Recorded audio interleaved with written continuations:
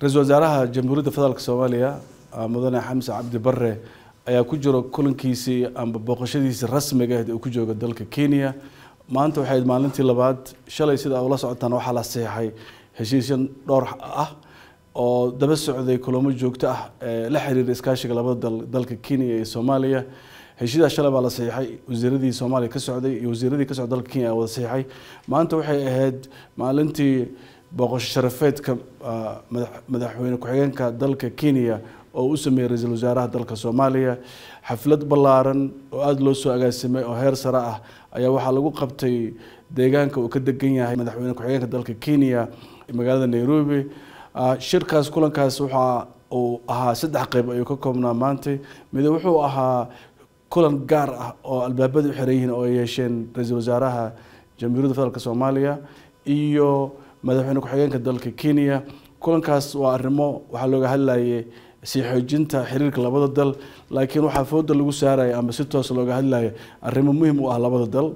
Shirka markuu dhammaaday qeybta labaad wuxuu ahaa shir laba geesood ah oo labada dhinac ay kala hogaaminayeen labada hogaamiye ra'iisul wasaaraheyna iyo madaxweyne ku-xigeenka dalka kenya. Shirkaas waxaa labada dhinac fadhiyay qaar ka mid a golaha wasiirada dalka kenya iyo qaar ka mid a golaha wasiirada dalka soomaaliya. Waxaa dhinacooda taagnaa fadhiyay guddigii farsamo ee ka soo shaqeeyay howlaha la xiriiray heshiisyada la isla galay. Shirkaas marka waxaa looga hadlayay amba labada dhinac isku wadeersanayeen sidii loo sii adkeyn lahaa. Qodobadii maalintii hore lagu heshiiyey sidii iskaashiga labada dhinac arrimihi muhimka u sii ah oo aan isleenahay labada dal dhaqsay wax uga baahan wax laga qabto labada dhinac waxay ka hadleen waxyaabaha isleeyihiin in la dedejiyo xilliga la joogo waxyaabaha u baahan xilliga fog in wax laga qabto. Waxaa kaloo lagu soo bandhigay aragtida guud ee dowladda soomaaliya ay qabto ee xaaladda guud ee rijinka ka qabto dhanka kenya waxay soo bandhigtay waxyaabaha ay qabaan dhankooda concernka ay ka qabaan amba dareenka ay ka qabaan amba u baahan wax laga qabto. Waxaana shirkaas oo ah shirkii ugu horeeyey oo noocaas camal ah ee ra'iisul soomaaliya uu galo oo qaatay si official ah u dhacay. Waxaa taa ku xigay in labada dhinac la sameeyey oo madaxweyne ku-xigeenka dalka kenya uu qabtay qada loo qabtay magaca ra'iisul wasaaraha soomaaliya waxaa ka soo qeyb galay xubnaha ugu soo sareeya dowladda dowladda kenya. Waxaa ka maqnaa keliya xaqiiqdii oo la dhihi kara madaxweynaha kenya ayuu ahaa oo asagana shir furaya maanta. Laakiin shirkaas qada sharafeedkaas waxaa lagu martiqaaday ra'isul wasaaraha magaciisa lagu dhigay karaamadiisa lagu dhigay.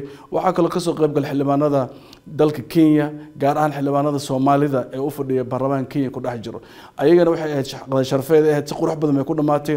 Qadadaas intaas dhicin ka horna waxaa jira waxa la yidhaha price release. Amba war saxaafadeed ka soo baxay shirka. Muhiimadda uu leeyahay ra'iisul wasaaraha imaatinkiisa meeshan iyo kor qaadidda mastawaha uu ku joogo dalkan oo ah markii ugu horeysay ra'iisul wasaare soomaaliya loo qaabila mastawa noocaas camal ah waxay kaliftay in maantay war saxaafadeedkii uu akhriyo wasiirka arrimaha dibadda dalka kenya isla markaasna ah madaxa golaha wasiirada ee dalkaas. Macnaha taa waxay muujinaysa muhiimadda qaaska ay leedahay qodobadii ka soo baxay waa la qeybiyey saxaafadda waa loo qeybiyey shirkii qeybtiisa ayuu ku dhammaaday. Waxaa galabta u suuro gashay ra'iisul wasaaruhu inuu soo boqdo kenyan school of government oo ah school lagu barto arrimaha la xiriira dowladnimada iskuulkaas hadda wuxuu tababar ka wadaa magaalada muqdisho ka sameeyey ilaa lix boqoloo qof oo tababar siiyey. Waa iskuul caalami ah dad badan baa ka soo baxay dhinacyo badan ah. Waxaa laga hadlaya iskaashiga labada dhinac iyadana waxaa la isla gartay in la kordhiyo dadka soomaaliyeed wax ku baranayo iskuulkaas xiriirka labada dhinac la kordhiyo. Ra'iisul wasaaraha intuu meeshaa joogay wuxuu waxaa u suuro gashay amba lagu martiqaado amba lagu qadariyey inuu tallaalo geed loogu magac dara xamza oo ah geed mataqaanaa nooca la yiraahdo maangaha amba cambaha soomaaliyed ay tiraahdo iyadoo taas sii adkeynaysa xiriirka labada dhinac. Waxaana la rajeynaya dad badan oo soomaaliyeed inay wax ku bartaan iskuulkaas si ay kaalin uga geystaan taabaqaadka dowladnimada soomaaliya.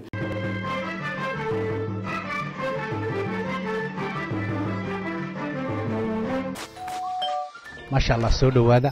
La jaanqaad shirkadda telesom maxmil waxay kuu diyaarisay adeegga internetka ay faibar optiga kaasoo xawaarihiisu kala go' lahayn.